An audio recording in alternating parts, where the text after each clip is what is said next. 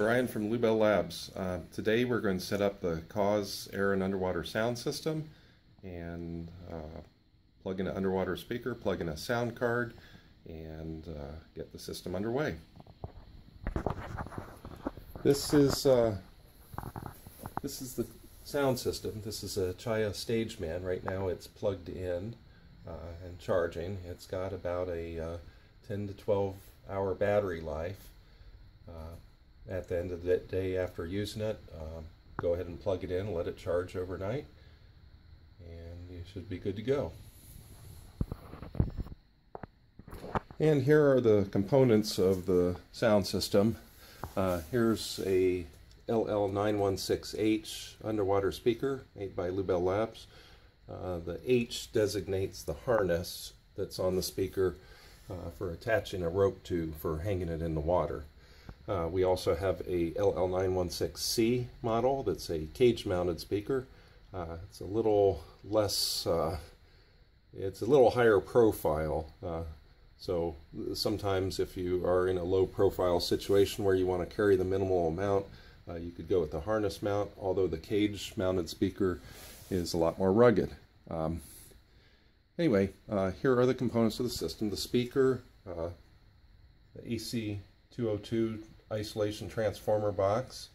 Um, it's got a uh, isolation transformer for safety. Uh, it's also got a uh, heavy uh, power resistor inside it and a tuned inductance in the circuit uh, to match the underwater speaker, which is a sonar type speaker uh, for broadband uh, high fidelity use.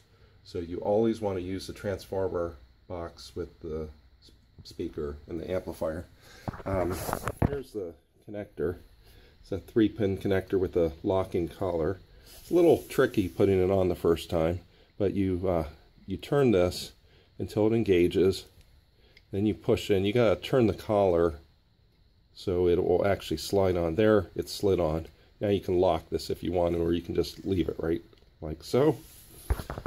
Next step is taking the little patch cord that comes with the box, plugging it in, and on the back of the sound system you see a, a speaker out jack. You simply plug that in right there, and you're pretty much ready to go in that regard. And here's a little USB drive that I've uh, put some songs on. And what we'll do is go over to the sound system and make sure that, um, okay, it's turned on. Let's turn on the uh, receiver here. Turn the volume up all the way on here. We'll start with the, this is the volume control for the built-in air speaker. Let's zoom in on that so you can see what it says. It says master. There's your treble and bass right under it. We want to make sure these controls are straight up at all times. They've got it's got like a center indent so it'll lock in. So with that being done, uh, oh and here's the underwater speaker volume right here. So let's take our card insert it in the slot. Right way helps. And it will immediately start reading it and playing. Let's turn up the volume a little bit. So this volume again is for the built-in air speaker.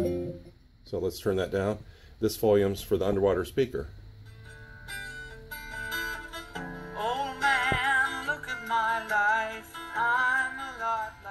And once you, the speaker sounds a little funny in the air right now. It's designed for underwater use. That's where it sees its proper impedance. Uh, you do want to use the speaker at a minimum depth of 6 feet and a maximum depth of 50 feet, and it's okay to put the speaker on the bottom of the pool. So, you can drop the underwater speaker in the water, tie it in place. Always keep the sound systems a minimum distance of 10 feet back from the side of the pool. Uh, that's a National Electrical Code requirement. It's just a good idea. Um, let's go ahead and unplug the charger. And you can see right now that it's got a uh, full charge. Uh, you can see the VU meter is just barely indicating right now. Well, let's go ahead and bring it up. I usually bring the underwater speaker up most of the way when you're uh, in like a 25 yard pool. You can do it by taste, but I would start with that up most of the way. And then just bring up your air volume to get enough sound on the deck. And if you want to uh, change your controls on, on here, you can scan uh, scan up to the next song. Uh, here we go.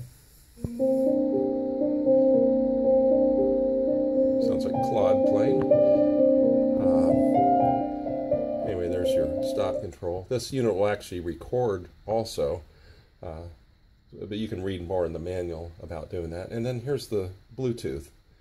And uh, you can use this for linking with your phone or iPod or whatever you wish. Anyway, that uh, wraps up the initial demonstration of this. Thanks for watching.